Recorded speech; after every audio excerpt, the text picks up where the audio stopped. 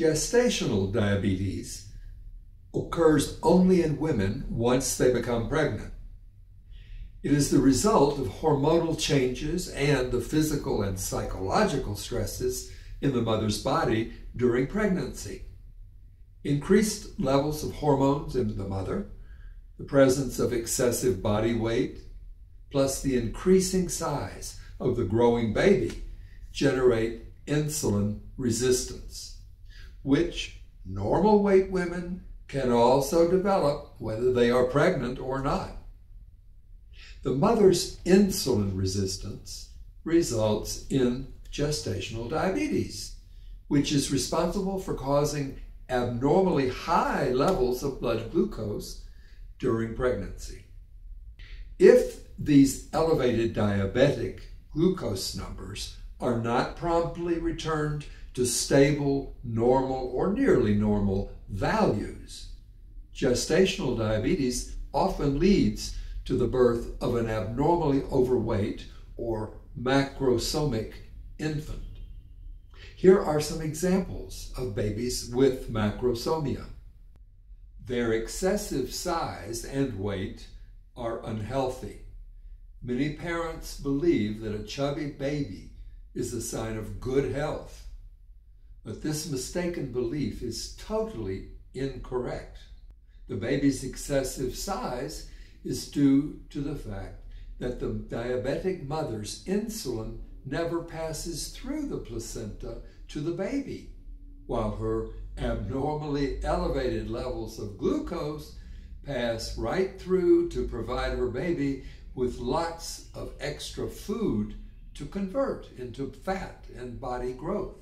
The mother's frequent or constant diabetic blood sugars during pregnancy produce macrosomic babies who later in life are more likely to develop type 2 diabetes, high blood pressure, overweight, obesity, and asthma. Stillbirth, the death of the fetus after the 20th week of pregnancy, is four times more likely in women with undiagnosed and untreated gestational diabetes. As with all types of diabetes, there are few or no signs or symptoms to indicate to the mother that her blood sugar levels are dangerously high. For this reason, every woman should measure her blood glucose levels between weeks 18 and 24 of every pregnancy to learn if her results are normal or abnormal. If the amount of glucose in circulation while fasting exceeds 91.8 milligrams per deciliter of blood, the diagnosis is gestational diabetes. Immediately at diagnosis, start treatment with the essential and primary tool for successful, effective management of gestational diabetes, which is a low sugar, low starch food plan that stresses proteins, essential fats, and green vegetables. Omitting non essential carbohydrate foods rapidly and safely lowers diabetic blood sugar levels. Moderate physical exercise, such as walking or swimming, is useful during pregnancy because it helps regulate blood sugars and reduces the body's need for insulin.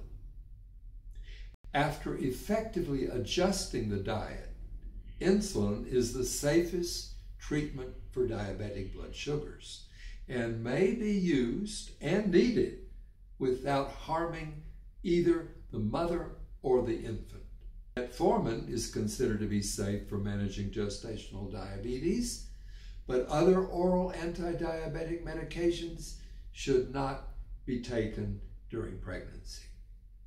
The goal of treatment is the same as that for every other type of diabetes. To maintain the mother's blood glucose levels as close as possible to non diabetic values 24 hours every day. Normoglycemia ensures a healthy baby of normal birth weight. Within five to 10 years after having gestational diabetes and giving birth to a child, about 50% of mothers develop type 2 diabetes. This is true whether their baby was macrosomic or not. In the next video, I'll explain pre-diabetes and how you can know if it is really diabetes or not. The answer may surprise you